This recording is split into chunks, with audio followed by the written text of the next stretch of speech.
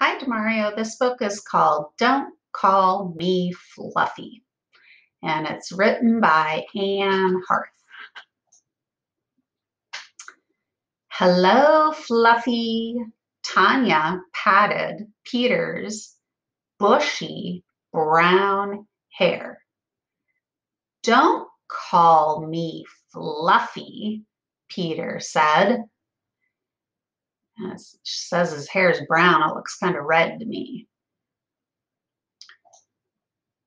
Thomas patted Peter's bushy brown hair. Hi, Fluffy, he said.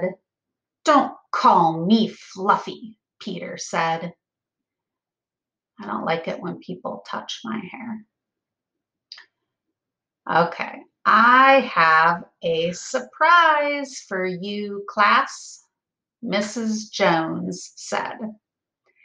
Our guinea pig, Muffy, had a baby last night. She held out a sleeping ball of fur. He needs a name. Look, Muffy rhymes with Fluffy, so that's easy to remember. Brownie, Tanya said. Tanya wants to name it Brownie. The guinea pig slept. Sleepy, Thomas said. The guinea pig still slept. I know, Peter called. He patted his hair. Fluffy! The guinea pig opened his eyes. He looked at Peter. Mrs. Jones laughed. He likes it, Peter. Our new guinea pig's name is Fluffy.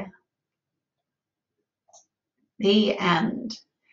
All right, we have some questions. What does Thomas call Peter? Well, he calls him Fluffy, and Peter doesn't like that. What's the mother guinea pig's name? Remember, it was Muffy, which rhymes with Fluffy. So that was easy to remember. What color hair does Peter have? Remember it said it, he had brown hair, but the picture looked kind of reddish to me, but the word said it was brown. And who names the guinea pig at the end? It was Peter, and he named him Fluffy. Well, that was a good book. Have a good day, Demario. Bye.